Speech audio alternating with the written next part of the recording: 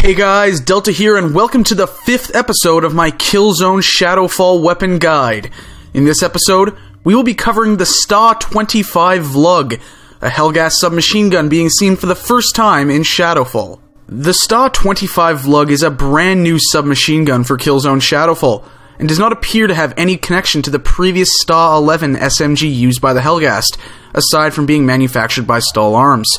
It can be equipped by the Assault class in multiplayer. Despite its low damage, the Vlug is ideal for close range combat thanks to its incredibly small bullet spread. That said, it can also be effective at medium range when fired in bursts. The Sta 25 kills in 6 hits to the bodies, and a headshot will be a one hit kill as always. Its effective range is decidedly average, but it is the second highest in the submachine gun category. As long as you stay in close to mid range battles, you shouldn't experience any drop off. The Vlug has a 30 round magazine, higher than both VSA submachine guns, and a strong advantage of this weapon. Combined with its firing rate of 600 rounds per minute, the Sta 25 is able to lay down a large amount of fire in a short period of time. As a result, players will need to reload often, and the Vlug's reload animation lasts for 2.5 seconds before the gun is raised and ready to fire again. The Sta 25 has the standard optical attachments for all guns in the game, beginning with the default dot laser. In Shadowfall, these are the equivalent of iron sights. The first attachment available is the HGH variant of the Hollow Sight, as this is a Helghast weapon. The Hollow Sight provides a larger field of view and a small magnification bonus of 1.2 times. This attachment is unlocked by killing 10 enemy players with the Vlug while aiming down the gun's sights. The second optical attachment for the Sta 25 is the HGH ACOG sight. This sight is bulkier than the Hollow Sight, blocking out more of your peripheral vision, but provides a 1.6 times magnification bonus that allows the player to be more precise at longer ranges.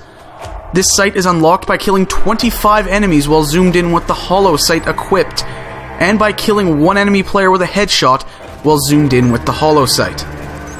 There are also two under barrel attachments for the Vlug.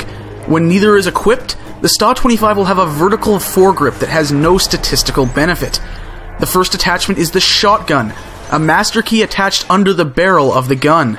It has limited range, magazine capacity, and rate of fire, but within 10 feet it deals a ton of damage. This attachment is unlocked by completing three challenges stunning 50 enemies with the Assault Stun Blast ability, killing 50 enemies with the Sta 25, and killing 50 enemies with the LS-36 Breacher shotgun. The second attachment is the laser pointer, an ideal choice when added onto the already small bullet spread of the Vlug, making hip firing at longer ranges a possibility. This attachment is also unlocked by completing three challenges killing 15 enemies with the Vlug in a single round, stunning 75 enemies with the Stun Blast ability, and getting 25 kills with the Buddy Drone ability. The Sta 25 is a close quarters demon, and players should choose a loadout to accentuate the strengths of the gun.